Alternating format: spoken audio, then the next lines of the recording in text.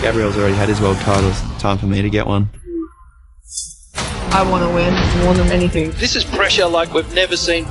It can be intimidating. The fear, of people react to it different. If Owen loses this next heat, my, my fantasy team's fucked. Oh, fucking come on! He's not coming here to participate. He's coming here to win. There's just so much pressure that comes with competing on the WSL fantasy circuit. Her career is at stake. It's time to put your head down and make a run for it. You want to perform in the big stage, and this is the biggest stage you can have.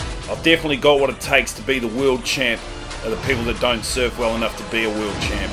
That was amazing.